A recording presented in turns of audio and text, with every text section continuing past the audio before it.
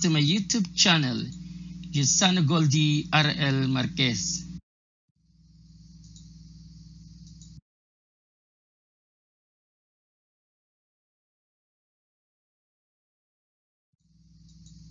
This is Integral Calculus or Calculus 2, Basic Integration, Section 1.3, Logarithmic Formula for Integration. In this video presentation, I will be discussing indefinite integrals that can be handled by logarithmic formula for integration. In the previous videos, I discussed the first basic integration formula. This time, I will be talking about the second basic integration formula, that is logarithmic formula for integration or integration leading to logarithmic function. Let u be a differentiable function of x, then the integral of du over u equals ln of the absolute value of u plus c, where u is not equal to 0. The following are the other options for the integral of du over u. If u is less than 0, then the integral of du over u is equal to ln of negative u plus c sub 1. If u is greater than 0, then the integral of du over u is equal to ln of u plus c sub 2. If u is not equal to 0, then the integral of du over u is equal to ln of the absolute value of u plus c. In the integral du over u, du over u is in quotient form u is the denominator which is a function other than a constant and du is the differential of the denominator u. If all of these things are satisfied then the integral of du over u is equal to ln of the absolute value of u plus c where u is not equal to 0. Example 1.3.1 Evaluate the integral of dx over x minus 5 Solution. Given the integral of dx over x minus 5, we take x minus 5 as our u, which is the denominator.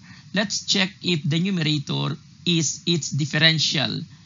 Taking the differential of u, that is equal to dx, which is the numerator. Hence, the integral of dx over x minus 5 takes the form of integral of du over u. Therefore, its integral is equal to ln of the absolute value of x minus pi plus c. Example 1.3.2 Evaluate the integral of 3x squared dx over 7 minus 2x cubed. Solution 1. Given the integral of 3x squared dx over 7 minus 2x cubed, Let's take 7 minus 2x cubed as our u, which is the denominator. Its differential is given by negative 6x squared dx, but the numerator of the integral is not equal to differential of u. If we're going to multiply this 3x squared dx by negative 2, then it will become the differential of the denominator. So let's multiply by negative 2, but we have to balance it outside by negative 1 half. So this is now equal to negative 1 half times the integral of negative 6x squared dx over 7 minus 2x cubed.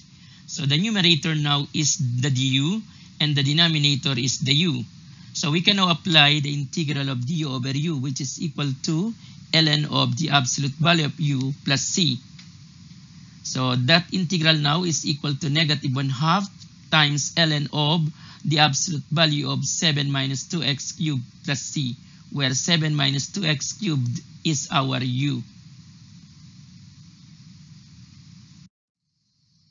Solution number 2. Let us apply this time simple u substitution. Given the integral of 3x squared dx over 7 minus 2x cubed, we're going to express this in terms of u. So the denominator 7 minus 2x cubed is our u. du is equal to negative 6x squared dx. So solving for 3x squared dx, that is equal to negative du over 2. So expressing the given integral in terms of u, we have integral of the numerator is negative du over 2 and the denominator is u. Moving the negative 1 half out of the integral sign, we get negative 1 half integral of du over u. And this is equal to negative 1 half ln of absolute value of u plus c. But u is equal to 7 minus 2x cubed. Hence, we have negative 1 half ln of absolute value of 7 minus 2x cubed plus c. Example 1.3.3 Evaluate the integral of 4y cubed plus y quantity dy all over 4y to the fourth plus 2y squared plus 9. Solution 1. Given the integral of 4y cubed plus y quantity dy all over 4y to the fourth plus 2y squared plus 9. Taking the denominator as the u, which is equal to 4y to the fourth plus 2y squared plus 9, its differential is 16y to the third plus 4y quantity dy. Checking the numerator, so it's not exactly the differential u. So let's factor out 4 from this 16y cubed plus 4y quantity dy, getting 4 multiplied to the sum of 4y cubed plus y quantity dy. So the numerator, which is supposed to be the differential, has a missing factor 4. So let's multiply that by 4 so that it will become its differential. So meaning the differential of the denominator. So but we have to balance it outside by 1 fourth. So the numerator now is the differential of u and the denominator is the u. So this mm, integral now takes the form of integral of du over u. So hence, we have 1 fourth ln of 4y to the fourth plus 2y squared plus 9 plus c. Absolute value here is not needed anymore because the differential, I mean the numerator which is u, is never negative. It is always positive for any real value of y.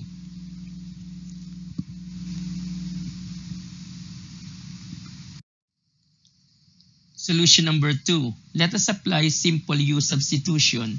Given the integral of 4y cubed plus y quantity dy all over 4y to the fourth plus 2y squared plus 9, our u is 4y to the fourth plus 2y squared plus 9 which is the denominator. Its differential is equal to 16y cubed plus 4y quantity dy. Our goal is to express the given integral in terms of u. So solving for du over 4, so that is dividing the differential of u which is equal to 16y cubed plus 4y quantity dy by 4 each side. So we get d, du over 4 equals 4y cubed plus, plus y quantity dy. So the numerator is now replaced by d over 4, the denominator by u. So getting 1 fourth integral of d over, 4, over u. So, but u is always greater than 0 for any real number of y. So, mm, this integral is equal to 1 fourth ln of u plus c where u is mm, does not have any more absolute value symbols.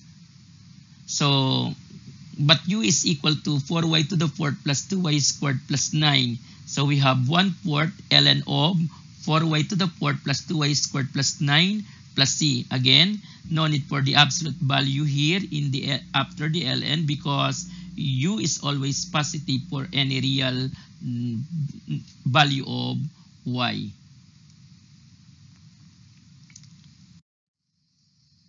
Example 1.3.4. Evaluate the integral of dx over square root of 3x plus 1 multiplied to the sum of square root of 3x plus 1 plus 9. Solution 1. So mm, let's mm, bring the square root of 3x plus 1 in the numerator. So getting dx over square root of 3x plus 1 and the denominator is square root of 3x plus 1 plus 9. Taking the denominator as the u, we have u equals square root of 3x plus 1 plus 9. So its differential is equal to, so the derivative of this radical is 3 over 2 square root of 3x plus 1 times dx. because the derivative of 9 is 0. So again, du is equal to 3 dx over 2 square root of 3x plus 1. So for the numerator of the given integral to be d over u, so we are going to multiply the numerator by 3 halves. So balancing it outside by its reciprocal which is 2 thirds. So we now have the numerator as the differential of the denominator and the denominator is our u. So we can now apply integral of d over u which is equal to ln of the absolute value of u plus c. But since u is never negative, since square root of 3x plus 1 is always greater than or equal to 0, so plus 9 here, so u is always positive. So absolute value in ln actually is not any more important. So all we have to do is to have ln of u plus c. So times 2 thirds, so 2 thirds ln of u, but u is square root of 3x plus 1 plus 9. So plus c. Solution number 2. Let's apply sub simple u substitution. Given the integral of dx over square root of 3x plus 1 multiplied to the sum of square root of 3x plus 1 and 9. So our goal is to express this in terms of u. So we take u equals square root of 3x plus 1 plus 9. Its differential is equal to the derivative of this radical plus the derivative of 9. But the derivative of 9 is 0. So we have for the radical 3 which is the derivative of the radicand over 2 is square root of this radicand. So solving for dx over square root of 3x plus 1, we get 2 du over 3.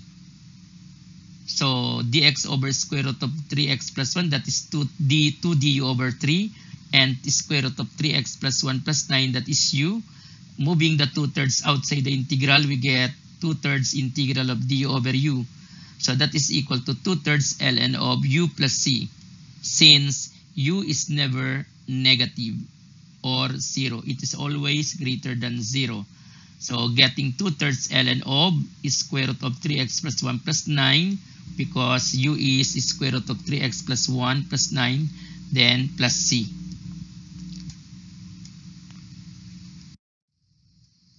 Example 1.3.5 Evaluate the integral of cotangent 2 theta d theta over ln of sine 2 theta. Solution 1.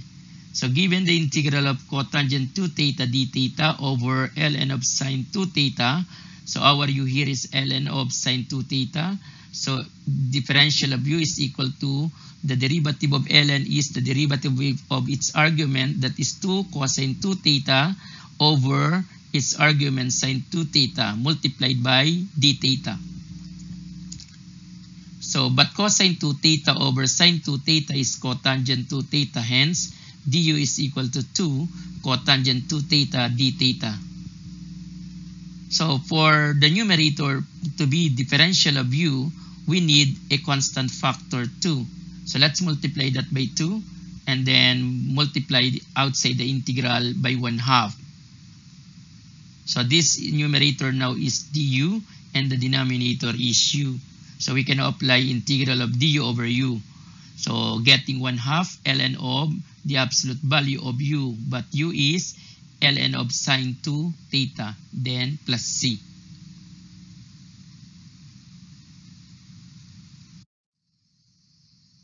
Solution number 2. Given the integral of cotangent 2 theta d theta all over ln of sine 2 theta, so applying simple u substitution, our goal is to express the given integral in terms of u. So the denominator, ln sine 2 theta, let's take that as our u. du is 2 cosine 2 theta d theta over sine 2 theta. Let's check if mm, the numerator is its differential. So this du can be expressed in terms of cotangent times 2 d theta. So 2 cotangent 2 theta d theta. So but the numerator in the given integral is not mm, 2 cotangent 2 theta d theta. So there is a missing constant factor 2. So let's solve for du over 2 which is equal to cotangent 2 theta d theta.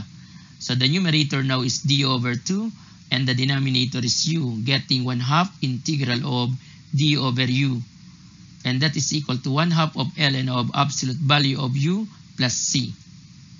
So it's e but u is equal to ln of sine 2 theta therefore we have 1 half ln of the absolute value of ln of sine 2 theta plus c. Example 1.3.6 Evaluate the integral of e to the cosecant 5w multiplied to cosecant 5w cotangent 5w dw all over cos e to the cosecant 5w minus 5. Solution. So given the integral of e to the cosecant 5w multiplied to cosecant 5w cotangent 5w dw all over e to the cosecant 5w minus 5. So let's try taking the denominator as the u. Check if the numerator is the du. So we have for the differential of u, we get derivative of the first term is negative 5 e to the cosecant 5w times cosecant 5w cotangent 5w. Derivative of negative 5 is 0 multiplied by dw to be differential of u. But the numerator is not exactly this du. So we need to multiply it by the missing constant factor negative 5 and then balance it outside by negative 1 fifth. So we get now the numerators the du and the denominators the u. So we can now apply integral of du over u which is equal to ln of the absolute value of u plus c. So getting negative 1 fifth ln of absolute value of e to the cosecant 5w minus 5 plus c.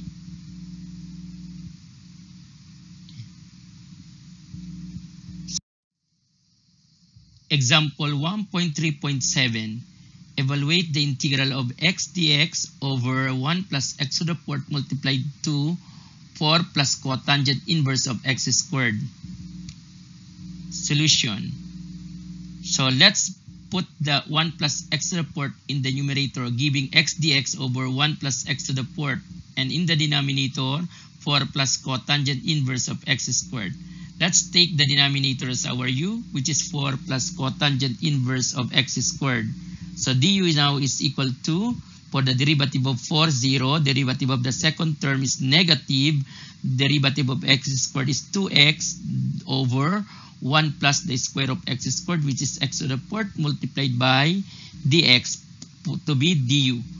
So the numerator is not exactly this differential of u. There is a missing constant factor negative 2. So let's multiply the numerator by negative 2 balance outside by negative 1 half. So the numerator now is du and the denominator is u. So we can apply integral of du over u. So getting negative 1 half ln of the absolute value of 4 plus cotangent inverse of x squared which is our u. So plus c. So that's the give the integral of the given problem. That's all for now. Thank you for watching. Please don't forget to subscribe to my YouTube channel, Yusano Goldie RL Marquez. I'll be having part 2 of this mm, logarithmic formula for integration. So watch out for this. Bye.